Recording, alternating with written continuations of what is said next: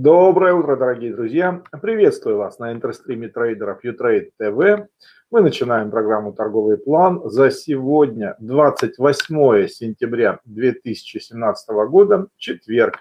Меня зовут Игорь Суздальцев. И давайте посмотрим на то, как мы вчера завершили свой рабочий день. Индекс ММВБ 2081 пунктов а, отметки этой достигли мы. Плюс 0,4%. Индекс РТС 1126 пунктов, а минус 0,03%. Номинальное снижение. Э, доллар-рубль на споте 58 рублей 19 копеек за 1 доллар. Э, доллар вырос на 37 копеек. И евро вырос на 22 копейки. 68 рублей 36 копеек дают сейчас за 1 евро там же на споте. Давайте посмотрим на графики, как они выглядят и что интересного нам несут. Биткоин, друзья, вчера снизился, сегодня растет. Так, секундочку, это часовой график. А нет, слушайте, мы-то 4229 по дню. Это я часовой график посмотрел, испугался. Я вам говорил вчера, всю неделю говорил, друзья, биткоин покупаем, только биток бьет доллар.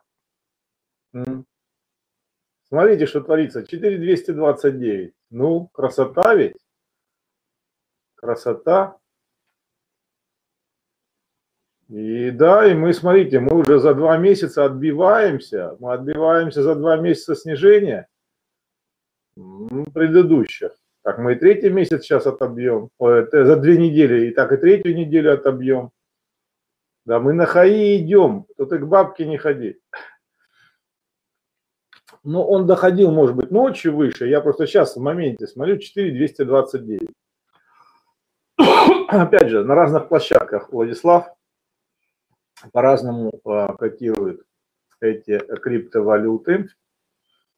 А нефть, друзья, не смогли мы вчера выйти на уровень моей покупки. Сейчас в моменте 51.88. А, получается, мы третий день снижаемся по нефти. Да? Так, ну, совсем чуть-чуть, но все-таки снижаемся. Кстати, а что вчера у нас было по запасам нефти? Я вчера даже не посмотрел. Давайте глянем. Я ушел с работы, даже не посмотрел. Запасы нефти вчера, сырой нефти, минус 1,8 миллиона баррелей. О, о, и что, нефть на этой теме не стрельнула? А слушайте, а что происходит вообще? А давайте включим часовой график, что у нас было в это время. Ну, в это время это как раз ну, после этого э, так немножко нефть приподняли, но быстро достаточно сдулась она, да? Ага, так бы еще глубже была, наверное.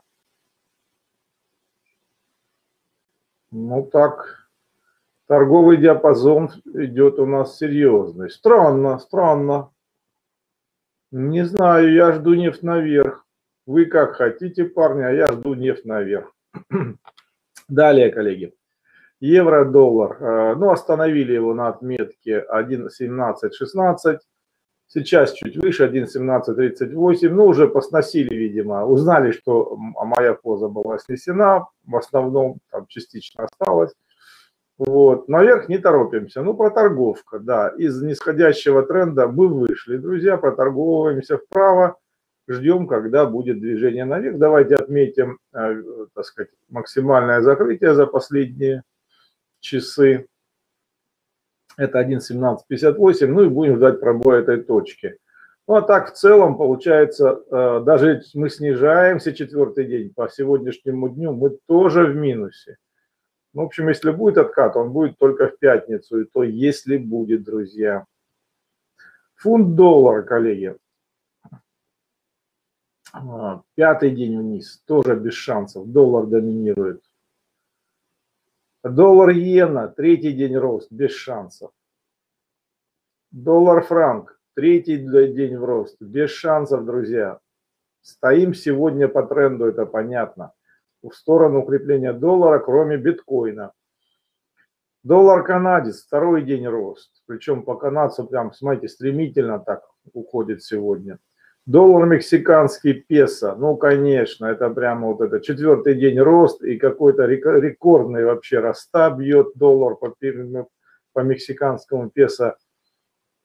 Такое впечатление, что нефть уже по 20, знаете. Вот. Ну, конечно, такое слишком активная реакция получается.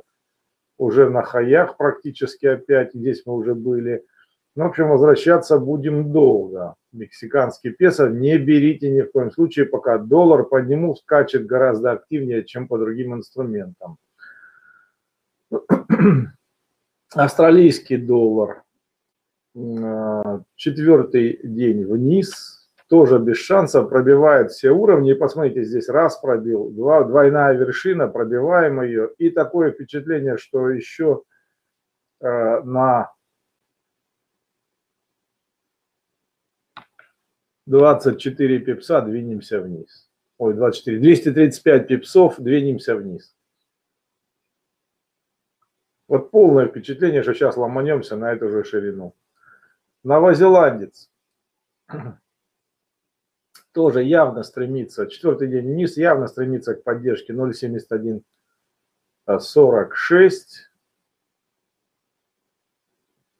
И сегодня не вижу разворота этой, этой тенденции.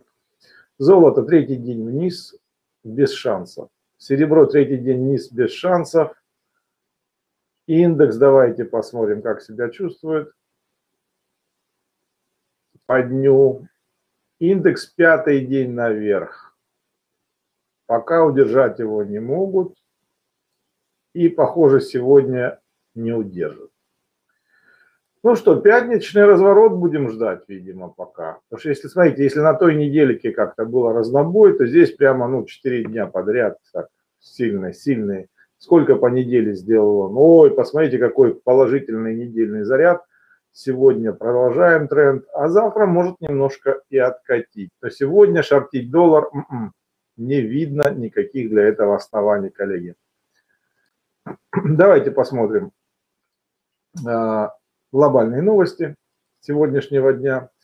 А, продолжает Дональд Трамп ругаться со всеми а, бизнесменами в Америке. Он якобы, так сказать, э, сторонник бизнеса, со всеми попереругался. Сейчас обвинил Дона, Facebook в том, что он всегда был против него, Facebook против Трампа. Сравнил э, сеть э, с, с фейковыми новостями и так далее. Ну, а Цукерберг говорит, что мы работаем в Facebook, чтобы объединить людей и построить сообщество для всех. Ну, э, центральная идея, что любой человек может высказывать любые идеи, и в этом основа, так сказать, э, основная такая либеральная идея Фейсбука. Да, это действительно так. Ну, только если вы начнете какие-то такие, знаете, человеконенавистнические или агрессивные вещи делать, тогда так, и аккаунт закроют или предупредят. Вот. Но э, Facebook работает для всех. Это вот э, действительно его концепция. И там, чтобы прям специально против Трампа, ну, понятно.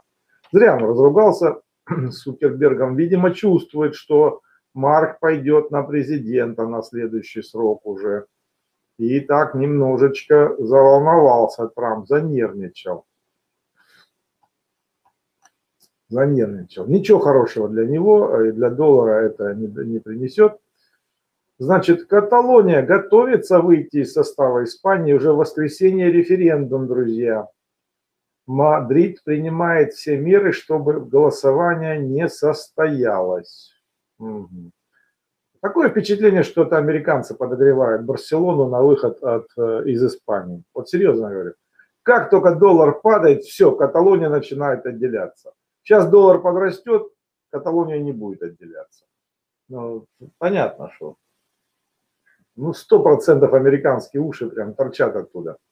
Российские новости, друзья. Минфин решил увеличить секретные расходы в 2017 году на 184 миллиарда рублей. Я вот не знаю вот эти вот секретные расходы. Я вообще-то гражданин России, хочу все знать. Это в принципе неправильно. Это в принципе неправильно. А тут еще каждый год их увеличивают. Ну, не знаю. Друзья, а, главная финансовая новость заключается в том, прямо скандальная новость. Слушайте, компания Шишханова, это Бинбанк, владелец, заложила Промсвязьбанку бумаги на 14,5 миллиардов рублей. В рамках сделки РЕПО были заложены э, пакет акций Руснефти и облигация Бинбанка. Вот. Это было сделано через компанию Регион Инвест, владельцем которой является Михаил Шишханов. Вот. И это говорит о том, что если у кого-то есть деньги в Промсвязьбанке или э, торговый счет, там есть брокерские услуги, бегом забирайте свои деньги, потому что разговоры, э, помните, неделю назад мы читали новость, Московский кредитный банк и Промсвязьбанк выступили на тему, что у нас нет связей с открытием или с Бинбанком, и там не то, что у них проблема, нас это не касается, прям так аргументированно а тут выясняется, вообще-то их разоблачили. Пром, Промсвязьбанк не сможет сейчас, сейчас найти кэшом погасить эти убытки 14,5 миллиардов рублей. Невозможно. Все, денег нет ни у кого.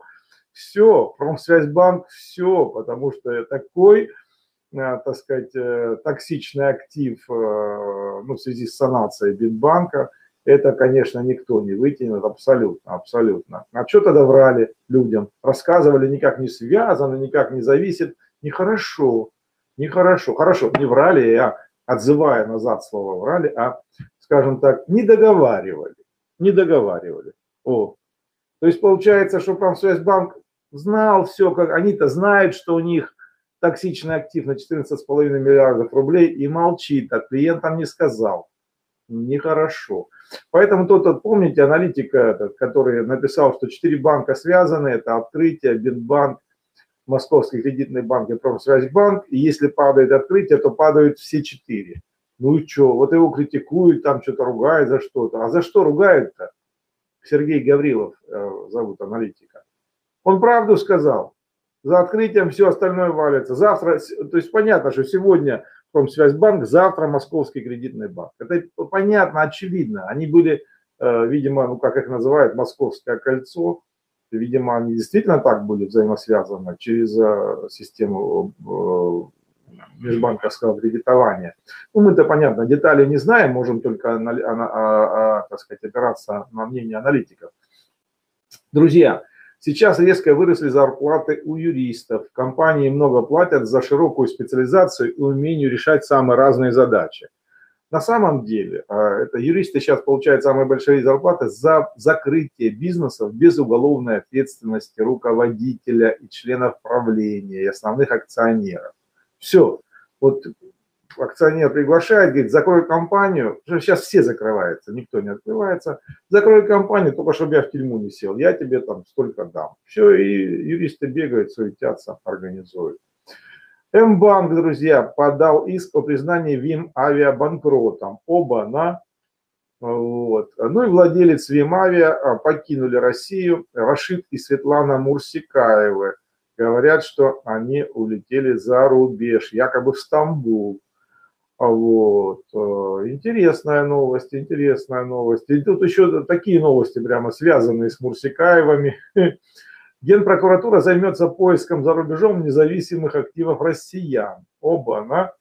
То есть э, Генпрокуратура э, Российской Федерации станет уполномоченным органом для выявления возвращения из иностранных юрисдикций активов, которые россияне получили коррупционным путем.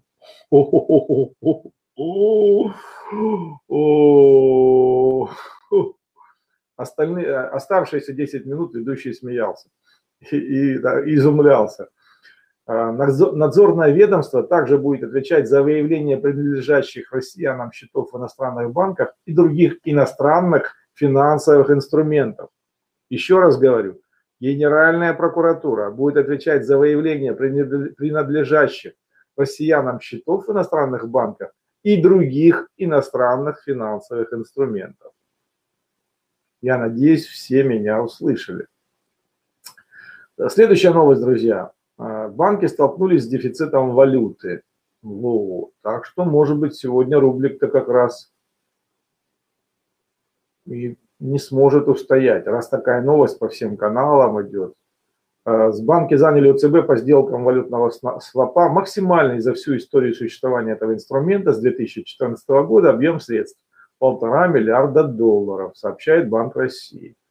О, значит, баксов нет, значит, будут покупать на рынке. Сегодня рубль покупать, осторожно. Сегодня доллар попрет и по рублю, я думаю. Далее, технические аналитики Газпромбанка, ну это новость не, после первой новости, вторая новость нас уже не удивляет. технические аналитики Газпромбанка считают, что сейчас благоприятный момент для закрытия коротких позиций по доллару против рубля.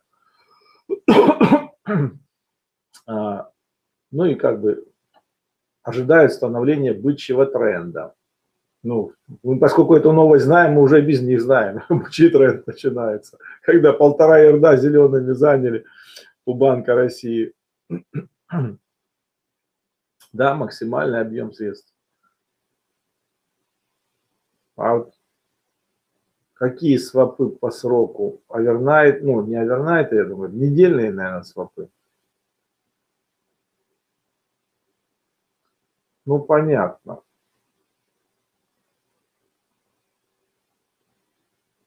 Понятно, есть отток валюты, свободные остатки в валюте уменьшаются, тогда тут как бы мудрости никакой не надо иметь. Раз, раз берут, значит нужны. Это же не бесплатно, они же за это деньги платят. Далее, друзья, московские новости. Серый водород сконцентрировался в Балашихе. Оба на э, зафиксировали превышение ПДК в 625 раз. Ничего себе. Ничего себе. А Балашиха, вот от меня отсюда Балашиха, ну, километров 5, наверное, начинается. О, я вот чувствую, что-то вот не то. Это, оказывается, сероводород превышен 625 раз. Нифига себе.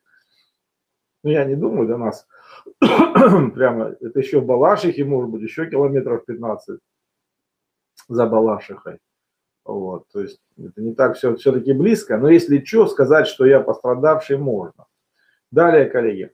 На севере Мексики прошел дождь с рыбами. О, прикольно, удобно. Вышел на улицу, бах, рыбочки. И главный коллега, э, коллеги, за вопрос дня. Придумайте подпись к этой фотографии. О чем Герман Греф хочет нам сказать, друзья? Какие версии?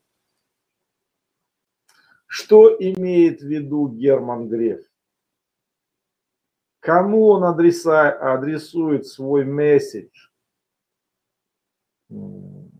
Какие версии в чате, пожалуйста, давайте. Ну, а мы с вами двинемся дальше. Монета нефть марки Бренд сегодня. Эх, нету что-то боев у нас никаких. Buy, sell, две стороны у монеты. Оп, смотрим. Buy пишет монета. Я тоже buy, но вот что-то вчера нам не сильно повезло. Ты смотрите, нефть держит. Дмитрий пишет один лям. Вы имеете в виду Уликаев два ляма, а Хагреф один? Не-не-не. Я думаю, это другой месседж. Глубже смотрите, ширше. Я читаю, я читаю ваши версии, друзья, озвучивать не буду. Все, коллеги, двигаемся дальше. А, э, а, значит, экономический календарь. Сегодня,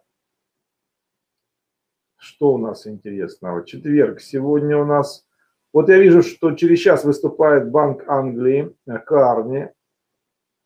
Интересно. Смотрим, друзья.